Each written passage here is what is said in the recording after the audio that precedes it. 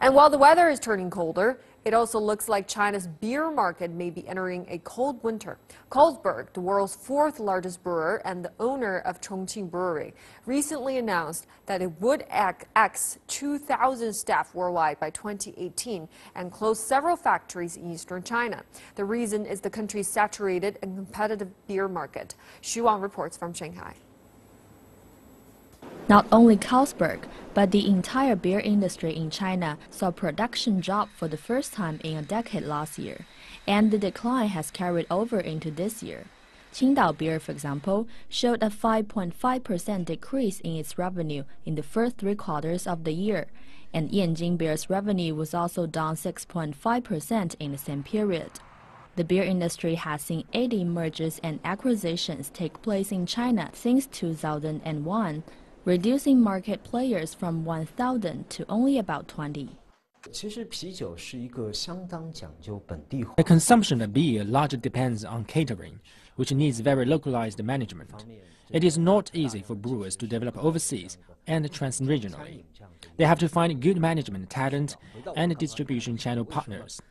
One of the main components in beer brewing is malt, which China meets by imports from Europe.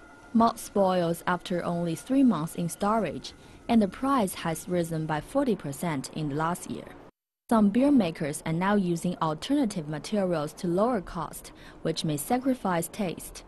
Younger consumers are also turning to other alcoholic drinks like premixed cocktails. The young generation of consumers is not satisfied anymore with draft beer. I can say that about 75% of beer produced in China is now being made lighter in taste, as beer makers lower their cost. And a lot of breweries are now making products just a bit higher than the requirement. They're not using 100% malt, but rice and corn to lower the cost. According to the China Alcoholic Drinks Association, the five major brewers in the country, Snow, Qingdao, AB, Yanjing, and Carlsberg, now account for nearly 80% of the total market. Each Chinese on average now consumes 34 liters beer every year, already higher than the world's annual average of 33 liters. The total beer consumption is now at a peak. The future is all about stabilizing the peak and preventing substantial drops. In the final analysis, what beer makers need to do is to upgrade their products to provide better consumption experiences. This is the key to success. Last year, China sold 50 billion liters of beer, accounting for 26% of global sales.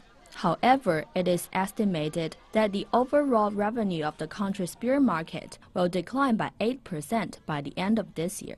Xu Wan, ICS for CCTV, Shanghai.